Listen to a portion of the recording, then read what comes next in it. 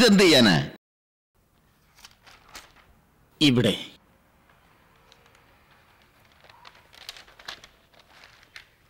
Sir ഇതൊരു പ്രധാന ഫയലാണ്.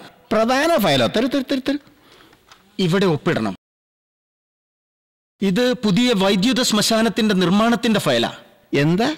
Electrical crematorium electrical crematorium എവിടെയാ ഉണ്ടാക്കുന്നത് സിദ്ധാപുരിയിൽ സിത്താപുരി അത് എന്റെ പരിധിയിൽപ്പെട്ടതല്ലല്ലോ. ഇലക്ട്രിക്കൽ ക്രിമിറ്റോറിയം നമ്മുടെ അജണ്ടയിൽപ്പെട്ടതല്ലല്ലോ ഇത് ഉപമുഖ്യമന്ത്രിയുടെ ഓർഡറാ.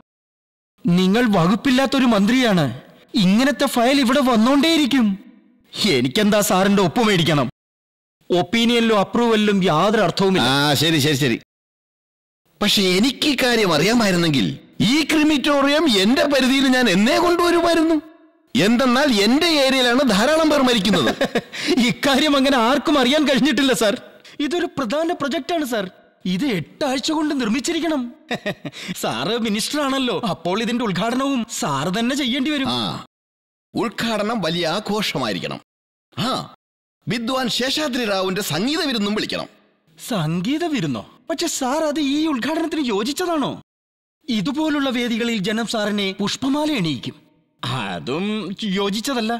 പിന്നെ ഒരു ശ്മശാനത്തിന്റെ ഉദ്ഘാടനത്തിന് അവിടെ നമ്മൾ ബാൻഡ് കൊട്ടിയാൽ പത്രക്കാർ വെറുതെ ഇരിക്കുമോ? കളിയാക്കില്ലേ സാർ? കളിയാക്കുമോ എന്തിന്? സാർ സാറിനറിയാമല്ലോ. ശവത്തിന് മുകളിൽ മാല റീത്ത് ഇതൊക്കെ വെക്കും. സാറിന് പൂവിടുന്നതും ഒരർത്ഥത്തിൽ അല്ല ഞാൻ വെറുതെ പറഞ്ഞതേ ഉള്ളൂ. പൂവില്ലാതെ മേളയില്ലാതെ പിന്നെ എന്തോന്ന് ഉദ്ഘാടനമാടോ? ശരി വിട്ടേളാ. ആ ഇന്നലെ ഞാനൊരു സുഹൃത്തിന്റെ അടുത്ത് പോയിരുന്നു. അയാളുടെ മുറ്റത്തെ ലോൺ എത്ര പച്ചപ്പ? ആ നിക്ക്. ഇതാണ് അയാളുടെ മേൽവിലാസം. വച്ചോ. ചെന്ന് ആ പുല്ലിന്റെ എല്ലാ വിവരങ്ങളും ചോദിച്ചു വരണം. പിന്നെ യെസ് സർ ഇത് വളരെ പ്രധാനപ്പെട്ട ജോലിയാണെന്ന് ഓർക്കണം. ഇക്കാര്യം താൻ തന്നെ ഹാൻഡിൽ ചെയ്യണം. സാർ എന്നെ ഇപ്പോൾ തന്നെ പോകാൻ സമ്മതിച്ചാൽ ഇപ്പോൾ തന്നെ പോകാം. പെർമിഷൻ. ആ ശരി ശരി ശരി. പൊക്കോ പൊക്കോ. ആ, ഈ ഫയലൂടെ കൊണ്ടുപോക്കോ. ആ, ആ, ആ.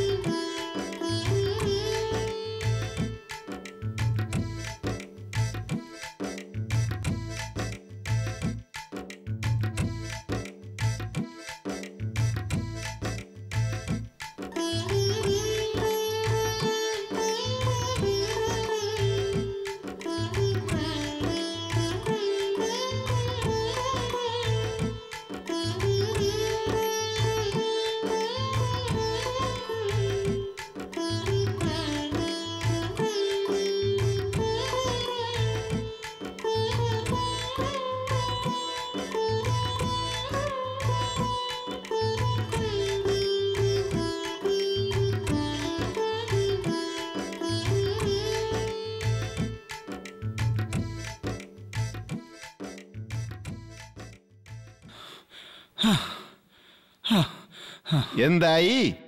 സർ ആ പുല്ലിന്റെ വിശദമായ കാര്യങ്ങൾ തിരക്കി തിരക്കി ഞാൻ തളർന്നു. സർ ഒരാളും അതിനെക്കുറിച്ച് പറഞ്ഞു തരാൻ മെനക്കെടുന്നില്ല. പക്ഷെ ഞാൻ തോറ്റില്ല കേട്ടോ. ഞാൻ ആ വാച്ച്മാന്റെ കയ്യിൽ കുറച്ച് കാശ് കൊടുത്തു. അയാൾ മൊത്തം വിവരവും പറഞ്ഞു തന്നു. കൊള്ളാം. വളരെ നന്നായി. പറയ പറയ്. എന്താ അറിയാൻ കഴിഞ്ഞത്? ആ പുല്ലിനെ കൊറിയൻ ഗ്രാസ് എന്ന് പറയുന്നു. അത് വളരെ എളുപ്പത്തിൽ വളരുന്നു? അത് വെട്ടിക്കളയേണ്ട കാര്യവുമില്ല. ഇതൊരു നല്ല കാര്യമാണല്ലോ. മെഷീനും തൊഴിലാളികളൊന്നും ഇക്കാര്യത്തിൽ വേണ്ടി വരില്ല. കാരണം പുല്ലിന് മെഷീന്റെ ആവശ്യമേ ഇല്ല. ഈ മെഷീനെയും ജോലിക്കാരെയും നമുക്ക് വേണമെങ്കിൽ രാജ്യ വികസനത്തിനായി ഉപയോഗിക്കാം. ശരിയല്ലേ? സർ അത് ആ സുഹൃത്തിന്റെ പ്രൈവറ്റ് വീടാണല്ലോ. അദ്ദേഹത്തിന്റെ ലാഭത്തെ നാം എങ്ങനെ രാജ്യവികസനത്തിനായി ഉപയോഗിക്കും? ഇക്കാലത്ത് ഉപയോഗശൂന്യവും എന്നാൽ ഉപയോഗപ്പെടുന്നതുമായ വസ്തുക്കൾ. അതിൽ സർക്കാരിന് അധികാരമുണ്ട് നാം നമ്മുടെ ജനതയ്ക്ക് അറിയിപ്പ് കൊടുക്കണം. അവർ അനാവശ്യ ചെലവുകൾ കുറയ്ക്കുകയും ദേശത്തിന്റെ വികസനത്തിനായി ആ പണം ഉപയോഗിക്കേണ്ടതുമാകും. ഇത്തരം ബോധവൽക്കരണം എപ്പോഴാ വേണ്ടത്? അതായത് രാജ്യത്തിന്റെ അത്യാഹിത ഘട്ടങ്ങളിൽ അല്ലെങ്കിൽ ഭൂകമ്പം അതുമല്ലെങ്കിൽ രാജ്യത്ത് യുദ്ധമുണ്ടാകുമ്പോൾ ഇത്തരം ദുരിതങ്ങളിൽ. ശരി. ഇക്കാര്യങ്ങളെ കുറിച്ച് ഞാൻ മുഖ്യമന്ത്രിയുമായി ഒന്ന് സംസാരിക്കട്ടെ? ഇനി അത്യാവശ്യം എന്ന് കണ്ടാൽ ഇതിനായി രാജ്യത്തെ അത്യാഹിത പരിതസ്ഥിതിയിൽ കൊണ്ടുവരാം. താൻ ഈ കാര്യത്തിൽ പരിഭ്രമിക്കണ്ട. ഇനി ഇക്കാര്യവും അറിഞ്ഞു വരണം. നമ്മുടെ പശുക്കൾ ഈ കൊറിയൻ പുല്ലിനെ എന്തു ചെയ്യുന്നു ഇനി നമ്മുടെ പശു കൊറിയൻ പുല്ല് തിന്നാൽ നമ്മുടെ നാഷണൽ ഡയറി ഡെവലപ്മെന്റ് വികസിക്കും. ഇനി തിന്നില്ലെന്ന് വെക്കുക? നമ്മൾ നമ്മുടെ വീട് കാമ്പൗണ്ട് ഗേറ്റ് ഇവിടെയൊക്കെ ഈ പുല്ല് വെച്ചുപിടിപ്പിക്കും നമ്മുടെ വിദേശ രാജ്യങ്ങളെ പോലെ. പശു കൊറിയൻ പുല്ല് തിന്നാലും ഫലമുണ്ട്. ഇനി തിന്നില്ലെങ്കിലോ? എന്നാലും ഫലം. സർ പറഞ്ഞുകൊണ്ടിരിക്കണം. ഞാൻ ഈ പുത്തൻ അറിവിനെ പകർത്തുകയാണ്. ഐ മീൻ നോട്ട് നമുക്ക് കൊറിയൻ പുലിനെ രാഷ്ട്രപതി ഭവനത്തിന്റെ കാമ്പൗണ്ടിലും വെച്ച് പിടിപ്പിക്കണം. എന്തെന്നാൽ അവിടെ ഏതെങ്കിലും പബ്ലിക് ഫംഗ്ഷൻ നടക്കുമ്പോൾ ധാരാളം പേര് വരും. അവരൊക്കെ നമ്മുടെ കൊറിയൻ പുല്ലിൽ പാദം വെച്ച് അവർക്ക് ആ അനുഭൂതി ഉണ്ടാകും ഞങ്ങൾ പട്ടുമെത്തയിലാണ് നിൽക്കുന്നതെന്ന്. ഇക്കാര്യം രാഷ്ട്രപതി അറിയിക്കുമ്പോൾ തന്നെ എന്നെ അഭിനന്ദിക്കും. ഇങ്ങനെയും സംഭവിക്കാം. രാഷ്ട്രപതി എനിക്ക് പത്മഭൂഷൺ പുരസ്കാരം വരെ നൽകും. Sir sir. സാറിന് തുല്യം സാറ് മാത്രം. സർ എനിക്ക് തോന്നുന്നത് നമുക്ക് ഈ വിഷയത്തിൽ ഒരു സമ്മേളനം വിളിക്കണം. എന്തെന്നാൽ പുല്ല് വെച്ചു പിടിപ്പിക്കാനായി എനിക്ക് കൂടുതലൊന്നും അറിയില്ല. സാറിനും അറിയില്ല.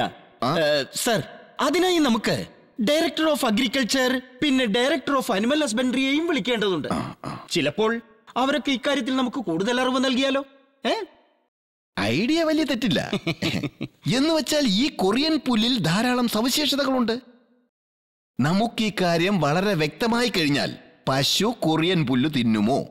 അതിനായി നമുക്കൊരു നാഷണൽ കൺവെൻഷൻ വിളിച്ചു കൂട്ടണം. ഇനി നമ്മുടെ ഒരേ ഒരു ലക്ഷ്യമായിരിക്കും കൊറിയൻ പുല്ല്. നമ്മുടെ രാഷ്ട്രത്തെ രക്ഷിക്കാനായി ഏവർക്കും പാൽ കുടിക്കാൻ കിട്ടണം. വാ വാ എന്തൊരു തലച്ചോറ സാറേ. സാർ ഇക്കാര്യത്തെക്കുറിച്ച് സാറ് ഇൻഫർമേഷൻ മന്ത്രിക്ക് കത്തെഴുതണം. ആ. പിന്നെ നമ്മുടെ ഈ ഈ പുതിയ പ്രൊജക്ടിനെ പറ്റി ആഗോളപരമായി ചർച്ച ചെയ്യാനുമാകും. അത് കഴിഞ്ഞ് നമ്മൾ റേഡിയോയിലും ടിവിയിലും പത്രത്തിലും വാർത്ത കൊടുക്കും. നമ്മുടെ ഈ പ്രൊജക്ട് അതോടെ പ്രശസ്തി നേടും. എനിക്ക് കൊറിയൻ പുല്ല് നട്ടുപിടിപ്പിക്കാനുള്ള വിദ്യ ആദ്യമേ തന്നെ സ്റ്റഡി ചെയ്യണം. അതും കൊറിയയിൽ ചെന്ന്. എനിക്ക് കൊറിയയിൽ ചെല്ലേണ്ടത് വളരെ അത്യാവശ്യമായി വന്നിരിക്കുന്നു സെക്രട്ടറി സാറിന് അറിയാമായിരിക്കും. രണ്ട് കൊറിയ ഉണ്ട് ഉത്തര കൊറിയ ദക്ഷിണ കൊറിയ. ഓ. ഞാൻ കേട്ടിട്ടുണ്ട്. ഹാനായി വളരെ മനോഹരമായ സ്ഥലമാണ്. ഹാനായി? ആ. സാർ അത് വിയറ്റ്നാമിലാണ്. വിയറ്റ്നാമിലോ? അതിൽ വലിയ കാര്യമില്ല. ഞാൻ ഉത്തര കൊറിയയിലും ദക്ഷിണ കൊറിയയിലും കറങ്ങി വരും. അത് കഴിഞ്ഞ് നമുക്ക് വിയറ്റ്നാമിലും പോകാമല്ലോ. ഇനി കൊറിയൻ പുല്ലിന്റെ നേട്ടമെടുക്കാനായി എനിക്ക് സാറിന്റെ സഹായമുണ്ടാകണം. എത്രയും പെട്ടെന്ന് തന്നെ ടി വിയിലൂടെ ജനങ്ങൾ അറിയണം. സർക്കാർ കൊറിയൻ പുല്ല് നട്ടുപിടിപ്പിക്കാൻ ഗൗരവമായി ശ്രമിക്കുന്നു. ഇക്കാര്യത്തെപ്പറ്റി ഞാൻ സി എമ്മിനോടും സംസാരിച്ചിട്ടുണ്ട്. നിങ്ങൾ ചീഫ് മിനിസ്റ്ററോട് സംസാരിച്ചിരുന്നോ? കാര്യം നടന്നു എന്ന് തന്നെ വിചാരിച്ചോളൂ. പ്രപ്പോസൽ വളരെ നല്ലതാണ്. അതുപോലെ മെക്സിക്കൻ ഗ്രാസിനെ കുറിച്ച് താങ്കളുടെ അഭിപ്രായം എന്താ? വാ നല്ലൊരു ഐഡിയ. Mexican grass. സെക്രട്ടറി ഇനി വന്നേ. സർ. നമ്മുടെ പ്ലാനിൽ മെക്സിക്കോ ഗ്രാസ് ഇരുന്നോട്ടെ? ശരി സർ. ഒരു കാര്യം ചെയ്യേ. അറൌണ്ട് ദി വേൾഡ് ട്രിപ്പ് ഉണ്ടാക്കിയോ മൊത്തം ലോകവും കറങ്ങി വരാം. ശരി സർ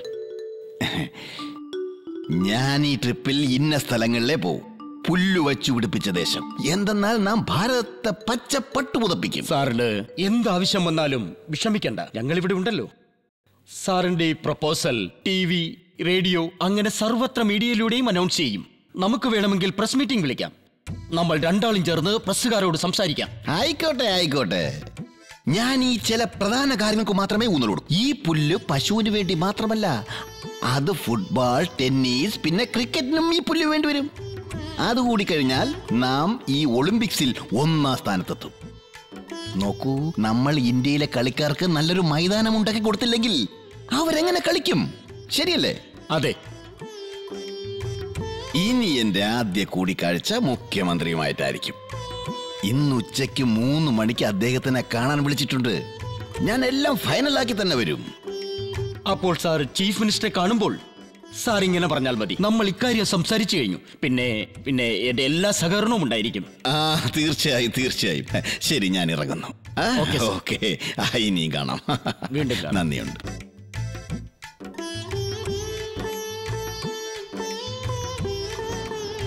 ആ ഇത് കേട്ടോ.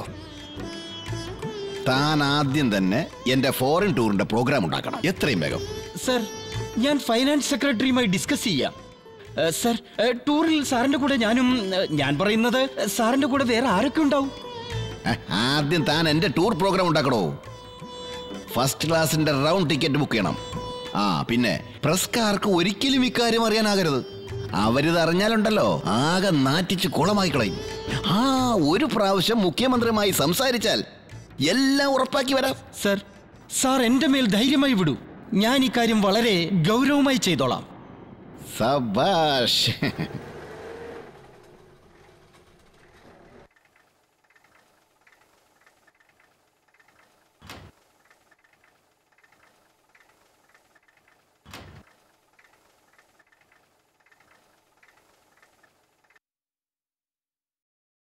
സർ സാറിന് ഏത് എയർലൈൻസിൽ പോകാനാണ് ഇഷ്ടം? നമ്മുടെ സർക്കാർ അനുശാസിക്കുന്നത് എയർ ഇന്ത്യയിലേ പോകാവൂ എന്ന്. പക്ഷെ എനിക്ക് അങ്ങനെ നിർബന്ധമുള്ള ഒരാളല്ല ഞാൻ. ആ പിന്നെ ഫോറിൻ എയർലൈൻസ് തന്നെ ആയിക്കോട്ടെ. അതും ഫസ്റ്റ് ക്ലാസ് ആ. പിന്നെ ഇക്കാര്യം പ്രത്യേകം ഓർത്തോ എന്റെ കൂടെ എന്റെ മകളും മരുമകനും ഉണ്ടായി അതെയോ? തനിക്ക് അറിയാവുന്ന കാര്യമല്ലടോ? എന്റെ കഴിഞ്ഞ ഓപ്പറേഷൻ കഴിഞ്ഞപ്പോൾ ഡോക്ടർ ഒറ്റയ്ക്ക് യാത്ര ചെയ്യാൻ പാടില്ല എന്ന് പ്രത്യേകം വിലക്കിയിട്ടുള്ളതല്ലേ? ആ. ആ മുഖ്യമന്ത്രിക്ക് ഇതും അറിയാൻ കഴിയണം. ഈയിടെ എനിക്ക് ശാരീരിക വൈഷമ്യങ്ങൾ വർദ്ധിക്കുകയാണെന്ന്. ഇത്രയും വിഷമങ്ങൾ ഉണ്ടായിരുന്നിട്ടും ഞാൻ എന്റെ കർത്തവ്യം നിർവഹിക്കുന്നത് കണ്ടോടോ താൻ? എനിക്ക് ഇക്കാര്യത്തിൽ വലിയ നേട്ടമൊന്നുമില്ല. എന്നാ ചിലപ്പോ ഈ ട്രിപ്പ് കഴിഞ്ഞാൽ എനിക്ക് മിനിസ്റ്റർ ഫോർ ഗ്രീനറി പദവി കിട്ടിയാലോ? Minister for greenery? സാർ ഇത് കേട്ടപ്പോഴാണ് ഞാനൊരു സിനിമാ കഥ ഓർക്കുന്നത്. വർഷങ്ങൾക്ക് മുമ്പ് ഞാൻ കണ്ടതാ. ഏത് cinema? How green was my valley അത് ശരി. അതാരാ എഴുതിയത്? സർ അത് ഷേക്സ്പിയർ ആയിരിക്കും തീർച്ച. ഇത്തരം നല്ല നല്ല പഴഞ്ചൊല്ലികൾ എല്ലാം ഷേക്സ്പിയർ എഴുതിയിട്ടുള്ളത് ഷേക്സ്പിയർ ഷേക്സ്പിയർ എനിക്കറിയാം. മന്ത്രിയായിരുന്നു നന്നായിട്ടറിയാം. എന്താ എന്താ നടക്കുന്നേ? ഒന്ന് പറയുന്നേ. അതാ മുഖ്യമന്ത്രി മന്ത്രിയെ സ്വാഗതം ചെയ്യുന്നു. അതിനുശേഷം? രണ്ടുപേരും അതാ കസേരയിലിരിക്കുന്നു. ആഹാ പിന്നെ? ആ ഒന്ന് കേൾക്കട്ടെ എന്താ പറയുന്നെന്ന് ഞാൻ നിങ്ങളുടെ കൊറിയൻ ട്രിപ്പിന്റെ പ്രപ്പോസൽ കണ്ടു. പക്ഷേ കൊറിയൻ ഗ്ലാസ് എവിടെയും കിട്ടുമല്ലോ?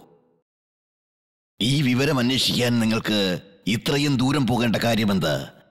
അദ്ദേഹം പറയുന്നത് ഈ കൊറിയൻ പുല്ലിന്റെ പ്രപ്പോസൽ ആവശ്യമില്ലാത്തതാണ്. ഇനി ഇതിലെന്താ പ്രത്യേകിച്ച് അറിയാനുള്ളത്?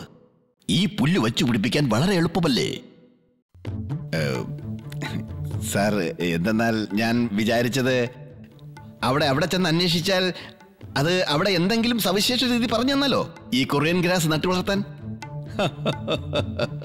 നിങ്ങൾ കണ്ടിട്ടില്ലേ? എന്റെ വീട്ടിലും ഇത് ഇഷ്ടം പോലെ നട്ടുപിടിപ്പിച്ചിട്ടുണ്ട്. അതെവിടെയും വളർന്നോളും. പറഞ്ഞത് എന്താണെന്നോ ഈ പുല്ല് കാട്ടുപുല്ല് പോലെ എവിടെയും വളരുമെന്ന്. അങ്ങനെ പറഞ്ഞോ?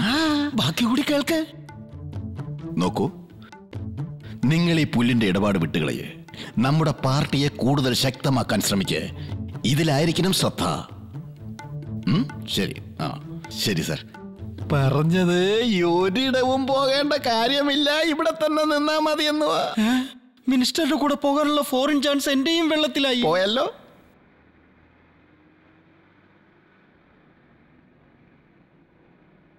മുഖ്യമന്ത്രി പറയുന്നത് എന്താണെന്നോ സെക്രട്ടറി നമ്മുടെ പാർട്ടി ശക്തമാക്കാൻ വേണ്ടി ഞാൻ ശ്രമിച്ചു ശ്രമിച്ചുകൊണ്ടിരിക്കാൻ സാർ ആ കൊറിയൻ ഗ്രാസിനെ കുറിച്ച് എന്താ പറഞ്ഞത്?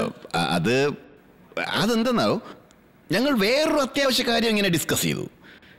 എനിക്ക് തോന്നുന്നത് അദ്ദേഹം എനിക്ക് വേണ്ടി വലിയൊരു പ്ലാൻ തയ്യാറാക്കുന്നുണ്ട്. കൊറിയൻ ഗ്രാസിനെ കുറിച്ച് ഡിസ്കസ് ചെയ്യാനുള്ള സമയവും കിട്ടിയില്ല? അതെ സർ ഇപ്പോഴെനിക്ക് മനസ്സിലായി.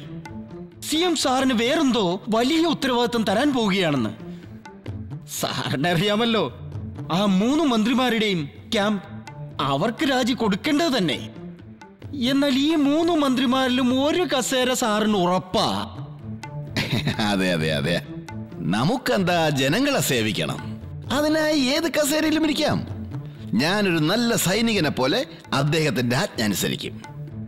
ദേശത്തിന് വേണ്ടി എന്താ നല്ലത്? അത് അദ്ദേഹത്തിന് നല്ലവണ്ണം അറിയാമല്ലോ. ശരിയല്ലേ? അല്ലേ?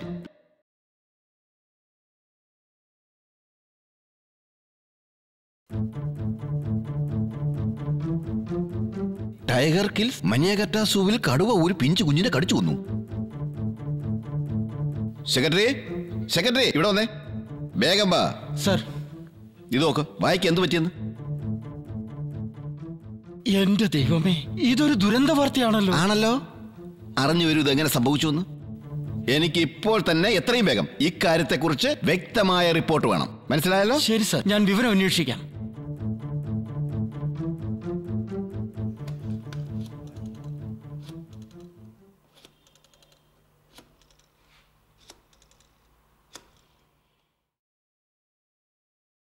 ഹലോ? മനീർഘട്ട സൂ ഓഫീസറോട് എനിക്കൊന്ന് സംസാരിക്കണം. നോക്കൂ ഇന്നത്തെ പേപ്പറിൽ വന്ന വാർത്തയുടെ അടിസ്ഥാനത്തിൽ മന്ത്രി കാര്യങ്ങൾ അറിയാൻ ആഗ്രഹിക്കുന്നു. അദ്ദേഹത്തിന് ഇക്കാര്യത്തെപ്പറ്റി കൂടുതൽ വിവരങ്ങൾ വേണം. ഇല്ല ഇല്ല ഇല്ല. ഇപ്പോൾ ഇപ്പോൾ തന്നെ വേണം. എന്താ പറഞ്ഞ? പത്രക്കാരുടെ കള്ളത്തരമോ.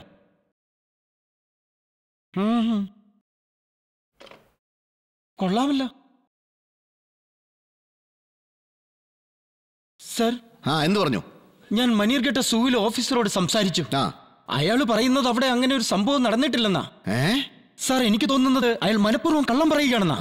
സാർ സാർ ഓർഡർ തരികയാണെങ്കിൽ ഞാൻ ഇപ്പോൾ തന്നെ ബാംഗ്ലൂരിൽ പോയി പൂർണ വിവരങ്ങൾ അറിഞ്ഞ് ഇരുപത്തിനാല് മണിക്കൂറിനകം സാറിന്റെ മുന്നിൽ വ്യക്തമായ റിപ്പോർട്ട് സമർപ്പിക്കാം. വേണ്ട വേണ്ട വേണ്ട വേണ്ട.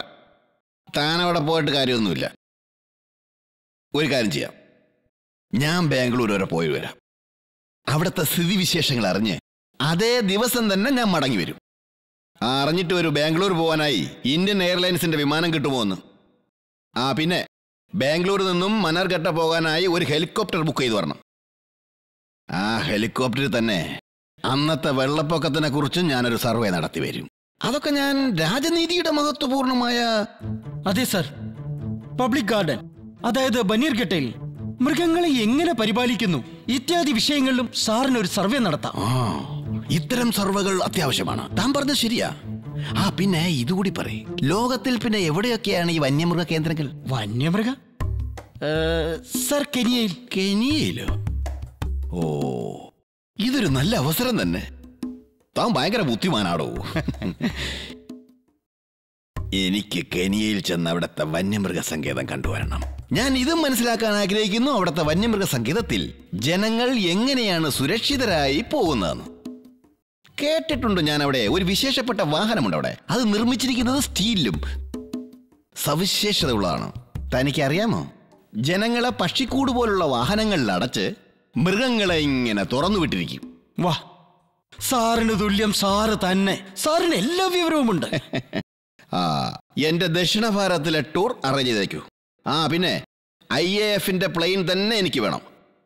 എന്റെ ദൈവമേ എനിക്ക് ഇനിയും മുഖ്യമന്ത്രിയുടെ ഓഫീസിലേക്ക് വിളിക്കേണ്ടി വരുമല്ലോ. നോക്ക ഞാൻ മുഖ്യമന്ത്രി എപ്പോഴും ചെന്ന് ബുദ്ധിമുട്ടിക്കാൻ വിചാരിക്കുന്നേയില്ല. പക്ഷെ ഞാൻ എന്ത് ചെയ്യും? അദ്ദേഹം വിചാരിക്കുന്നത് ഇത്തരം വിശേഷമായ വസ്തുക്കളുടെ സവിശേഷ അറിവുകൾ ഞാൻ നൽകിക്കൊണ്ടിരിക്കുമെന്ന്.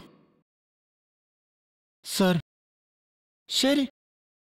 ഞാൻ സാറിന്റെ യാത്രയ്ക്കുള്ള വ്യവസ്ഥകൾ ഉണ്ടാക്കാം.